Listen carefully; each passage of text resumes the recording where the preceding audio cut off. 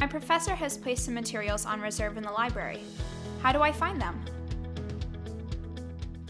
To access course reserves, start at the library homepage. Click on the link for course reserves found in the middle of the page. From here, select the Search Course Reserves link that will take you to the Course Reserves catalog, which is integrated into the WorldCat catalog.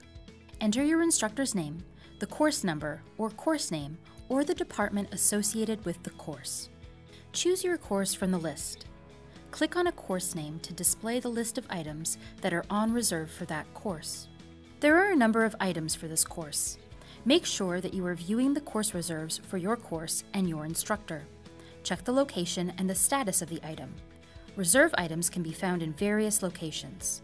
By default, the results list will show you only one location where the title you are looking for is available. Always click into the full record to see if the title is available elsewhere. It may even be available as a regular loan in another branch. The loan period for an item on reserve varies depending on the item. Check to see if the item you want is available by looking under the status column. If the item is checked out, it will give the time at which the item is due back. Some items are available online. Click on the link out to an electronic version.